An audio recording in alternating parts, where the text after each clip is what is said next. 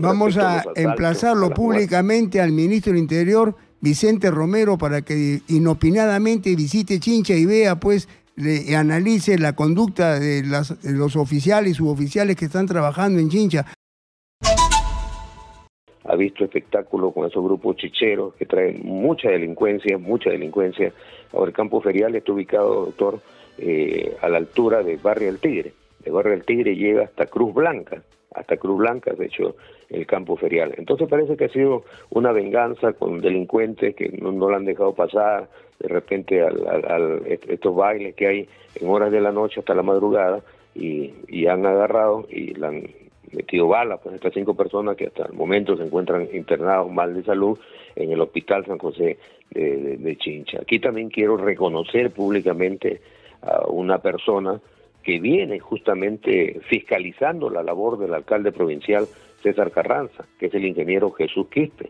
¿no? Ah, un ingeniero que es el único, es el único regidor que... Lo demás sigue la política del chicheño. En cambio, Jesús se faja, está pendiente, incluso se nombró una comisión para investigarlo, ¿no?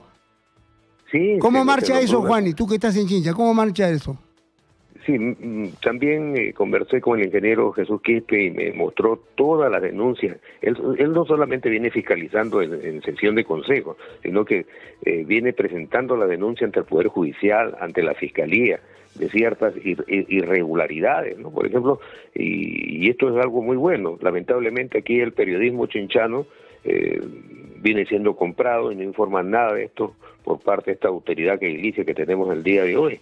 Acá en Chincha han salido una serie de comunicadores sociales como, como cucarachas, ¿no? Ahí están con su camarita filmando por acá y por allá, pero no dicen, pues esta, esta información que estoy dando no se ha dado a la luz, a la luz del día.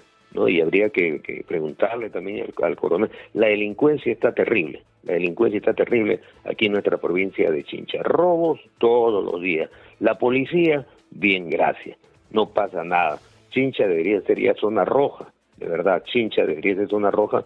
Por lo, todos los días tenemos que, dar información. Vamos a emplazarlo públicamente al ministro del Interior, Vicente Romero, para que inopinadamente visite Chincha y vea pues le analice la conducta de, los oficiales y suboficiales que están trabajando en Chincha. No puede ser tierra de nadie, pues Juan. Mientras tengamos nosotros la oportunidad de festejar, de sacar la cara por Chincha, vamos a estar al pie del cañón, no bajemos los brazos y hay que seguir luchando por nuestra provincia de Chincha. Se creó la universidad, Juan, perfecto, se dio la ley, pero no quedemos en una cuestión eh, meramente... Eh, como si fuera un enunciado, se creó, ahí está la ley, está vigente, pero ahora hay que luchar para que sea en el presupuesto del gobierno regional para el 2024 tenga, así como se está terminando el estadio eh, Félix Castillo, ¿no? igual también comience la primera piedra y comience a edificarse y su ciudad universitaria, Chincha, para que sea la provincia de Chincha la primera provincia en el Perú que tiene una ciudad universitaria como lo tiene San Marcos acá en Lima.